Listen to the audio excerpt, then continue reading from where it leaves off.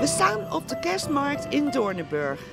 Er zijn ongeveer 40 kramen van particuliere bedrijven en goede doelen. Ook treden er koren op die hun kerstliederen laten horen.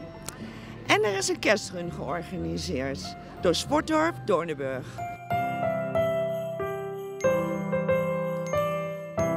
Wij staan bij Bas de Ridder van Sportdorp Doornenburg. Wat is Sportdorp Doornenburg? Uh, Sportdorp Doornenburg is een uh, stichting zeg maar, van vier verenigingen uit Doornenburg die samen, zijn, samen dingen organiseren. Hoe is het idee ontstaan om een kerstrun te organiseren? Nou, het idee van Sportdorp Doornenburg is om zoveel mogelijk mensen aan het bewegen te krijgen. En als eerste activiteit is de kerstrun verzonnen. Met de kerstmarkt die hier in Doornenburg aanwezig is nu. Welke afstanden worden er hard gelopen? Uh, de 10 kilometer, de 5 kilometer, voor de uh, jongere kinderen de 2,5 kilometer, uh, kilometer en 1 kilometer voor de allerkleinste kindjes. Hoeveel deelnemers zijn er?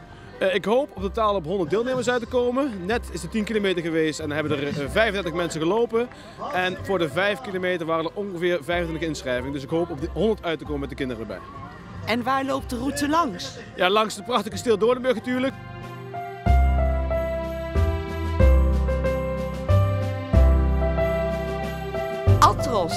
Je bent derde geworden bij de run. Waar kom je vandaan? Uh, ik kom uit Doornenburg. Hoe was de sfeer?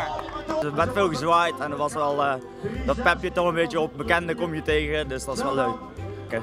Ben je blij met je derde plaats? Ja, en een goede tijd, dus uh, zeker. Hoe is uw passie ontstaan voor hardlopen?